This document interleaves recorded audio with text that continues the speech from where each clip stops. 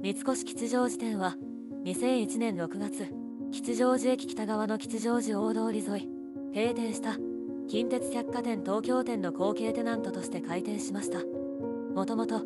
開店から遡ること30年前の1972年4月近畿日本鉄道が百貨店部門を分離し東京進出を目論んで東京近鉄百貨店を設立。同社設立にあたって業界トップで商品開発に定評があった三越と提携。三越が東京近鉄百貨店に25%出資することでスタートしました。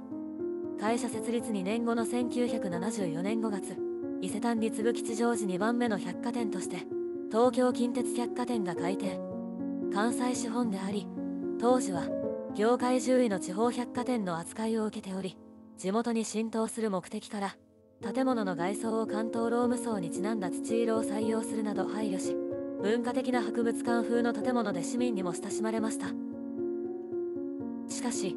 開店翌月には売り場面積1.5倍の東急百貨店がオープン。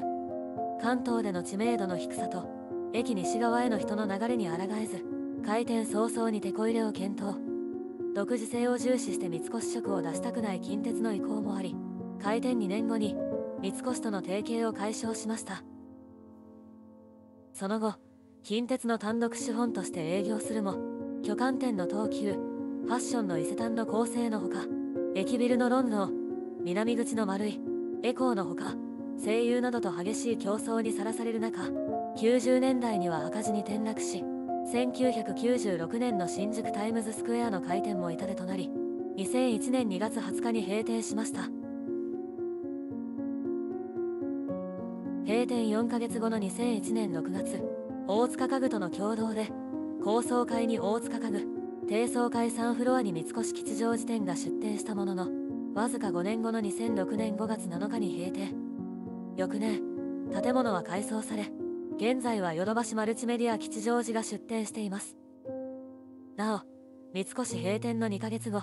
物件は近鉄百貨店からローンスターが取得しさらに2011年にはシューリックに売却されています。三越多摩センター店は千代田生命や共栄生命が経営破綻した翌月の2000年11月多摩センター駅南口のパルテノン大通り沿いに開店しました。もともと1989年に多摩そごうが出店しており19年間営業した後民事再生法の適用申請に伴い2000年9月に閉店。閉店の2ヶ月後大塚家具と共同で同ビルの後継テナントとして開店しました。百貨店と家具店との相乗効果を狙って出店したものの長崎や八十号が破綻した直後で流通業全体への逆風や駅からやや離れた立地多摩地区の人口の伸び悩みなどの影響から売り上げは低迷し2010年には大塚家具が立川への移転により撤退。その後ビル全体をコリア多摩センターとしてリニューアルしたものの業績は反転せず2017年3月20日に閉店しました。建物は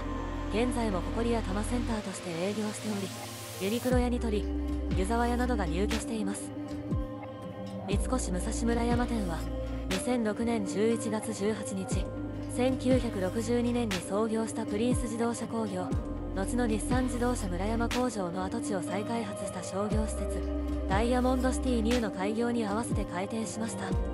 三越初の郊外型 SC への出店でイオンとの顧客層の違いによるシナジーとコスト低減を期待しハンドインハンド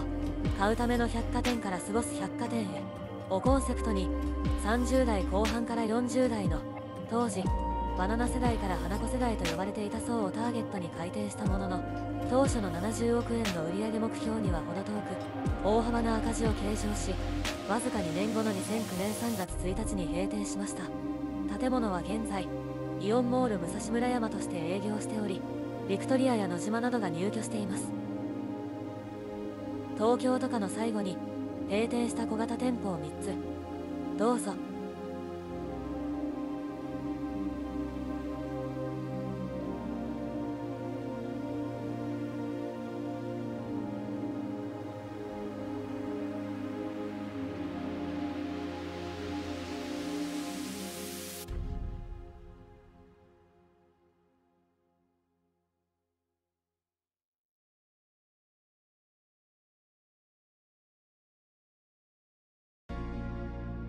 1914年10月東京駅丸の内駅舎完成の7ヶ月後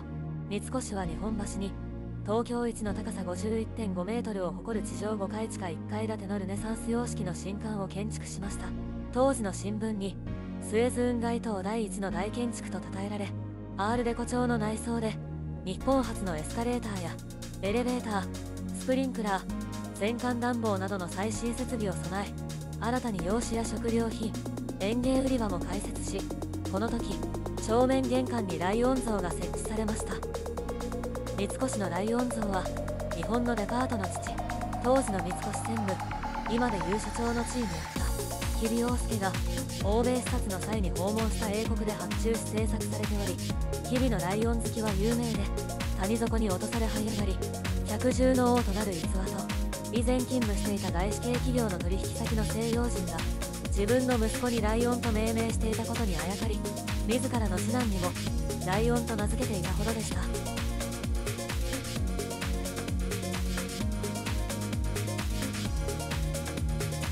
日比陽介は筑後久留米藩士の次男で福沢諭吉をしたい21歳で慶応義塾に入塾。その後三井銀行に入り和歌山支店支配人本店副支配人工業部支配人を歴任し高橋義雄に壊れて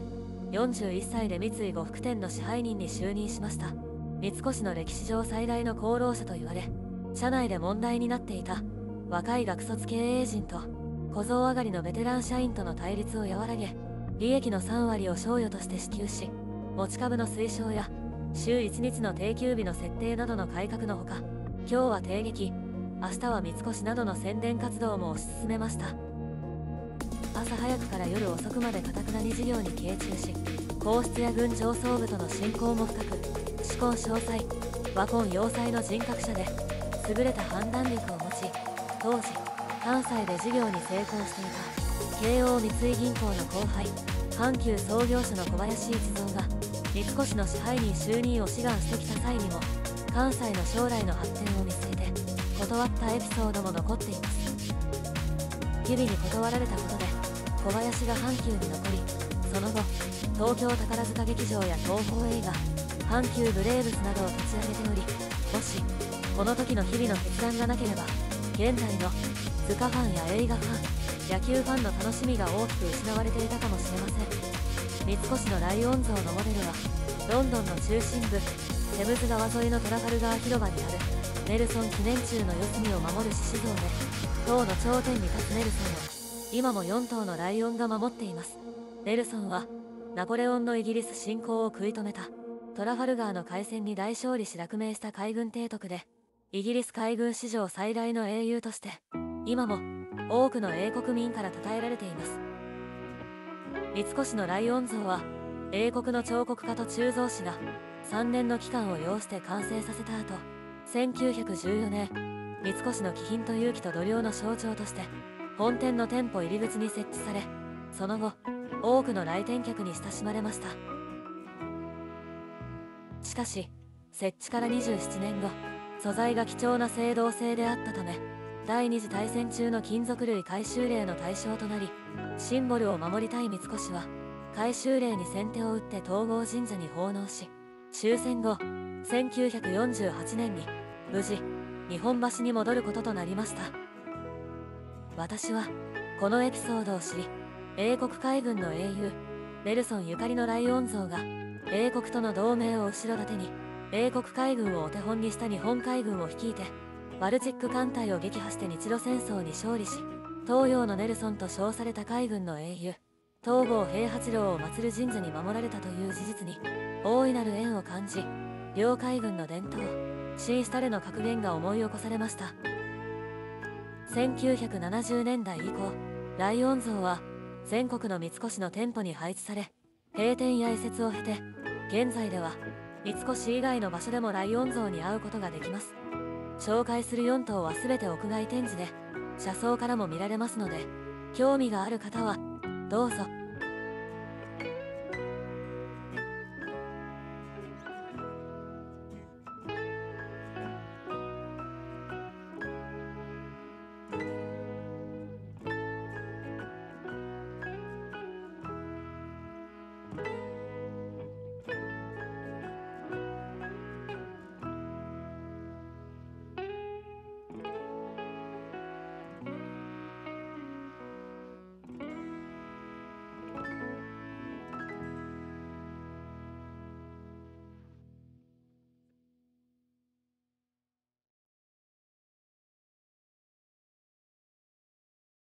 三越横浜店は1973年11月横浜駅西口の岩崎学園ビルに開店しました。三越の横浜での歴史は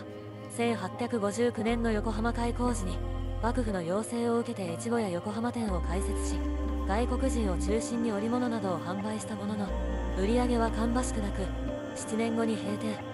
昭和初期の1928年横浜駅が現在地に移転し終戦後西口周辺の土地は所有していたロックフェラーのスタンダード石油から相鉄に売却され三越は当時は荒れ地で何もなかった駅西口の開発を計画していた相鉄から新設する駅ビルへの出店を打診されたものの謝絶し1955年に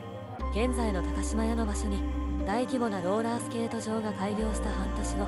駅前に高島屋ストアが開店しました。高島屋ストアの開店3年後相鉄が駅前に新築した相鉄会館に横浜高島屋がオープンし高島屋が駅西口における百貨店の地位を確固たるものとしていた中三越は高島屋に遅れること17年1973年11月にようやく横浜に出店しました。しかし開店の同じ年駅ビルの大型商業施設相鉄ジョイナスが竣工し高島屋が売り場面積を大きく拡立地的にも劣後する三越は開店時から厳しい競争が続き1985年には東口にそごうその後丸井と大型店舗が出店し小環境が激変。駅周辺の競争は激しさを増し店舗改装による専門店化で対抗したものの業績は改善せず業態転換やリニューアルでは回復は困難と判断し2005年5月5日に閉店しました。閉店後のビルには5ヶ月後ヨドバシカメラマルチメディア横浜が出店しています。三越上大岡店は1980年5月横浜南部の副都市京急市営地下鉄上大岡駅前の東急ストア跡地に上大岡三越エレガンスとして開店しました。全テナントの東急ストアは1969年10月に東高ストアとして上大岡に先駆的に出店し大英長崎屋などとの競争に敗れ撤退量販店ではなく街全体の格を上げるテナントとして三越が誘致され入り口にシャンデリアを設けファッションのほか名店街を中心とした食料品販売にも注力し三越としては異例の食料品売上が過半を占め横浜に流出していた贈答品需要も吸収し大きく売り上げを伸ばしました。しかし1996年10月売り場面積が10倍を超える駅直結の大型百貨店京急百貨店が開店京急は京急ストアやウィングなど中小規模店に特化しており唯一の百貨店の出店でノウハウがなかったものの親密先の伊勢丹から3年契約で管理職8名を受け入れさらには当時経営が揺らいでいた西部からの転職組にも支えられ業績は好調に推移。一方の三越は翌年対抗策として隣接の新築ビルに移転し欧風雑貨の品揃えの充実など差別化を図ったものの売り上げは伸びず2003年12月31日に閉店しました。閉店後旧建物は再開発され商業施設の三岡に移転後の建物はリストガーデンスクエアを経て2010年からは三岡リスト館となっています。三越鎌倉店は1974年松竹大船撮影所跡地に開発された商業施設松竹ショッピングセンターに家具を中心とする三越大船ファニチャーセンターとして開店しました。開店7年後の1981年に医療品や食料品を扱う大船三越エレガンスに業態変更。その後鎌倉三越に改称し高齢者層に絞った品揃えで特色を出して営業したものの2009年3月1日に閉店しました。閉店後の建物には現在ブックオフやダイソーサイゼリアなどが入居しています。